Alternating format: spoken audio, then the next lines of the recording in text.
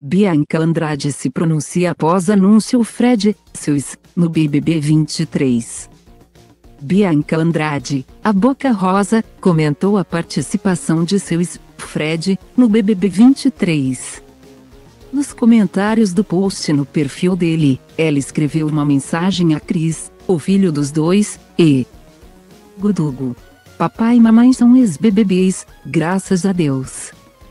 No seu Instagram, ela declarou apoio aos. Esse apoio também é um gesto de gratidão.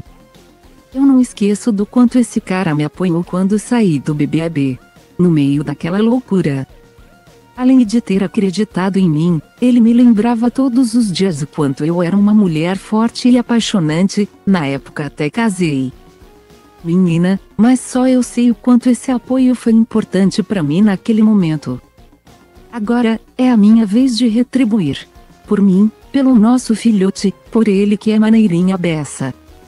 Em entrevista ao Gsoul, Fred contou como Bianca reagiu à notícia. A princípio, ela se assustou, mas depois apoiou. Ela me disse que eu podia ficar muito tranquilo que ele será muito bem cuidado. Pois felizmente não falta gente para ficar com o Chris. Saiba tudo sobre o BBB 23 com as notícias quentinhas no WhatsApp Peds Plus.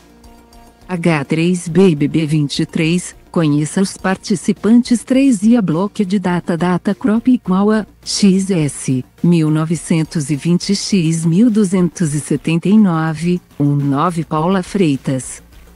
Pipoca data original texto igual a com 28 anos, Paula é biomédica e foi escolhida para entrar no BBB 23 após votação da Casa de Vidro. Com 28 anos, Paula é biomédica e foi escolhida para entrar no BBB 23 após votação da Casa de Vidro.